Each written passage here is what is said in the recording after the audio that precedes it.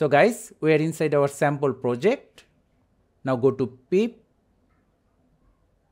import the same video as overlay, look for fill or fit to cover the full screen, tap on the layer to unselect everything, go to effect, motion,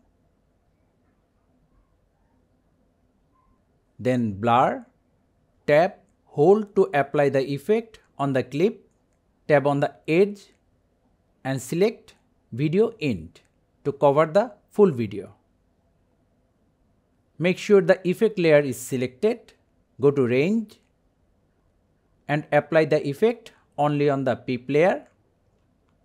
Move to the first frame but as you can see there is no blur. To fix it tap hold the effect layer and move it forward.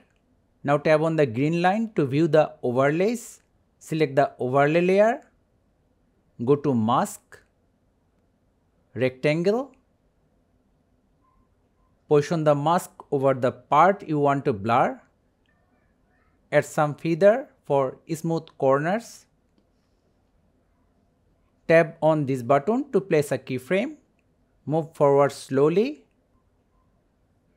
and adjust the mask throughout the video to cover the part you want to blur. This will automatically place keyframes to maintain proper mask movement. And we are done. So thank you guys for watching. Have a good day.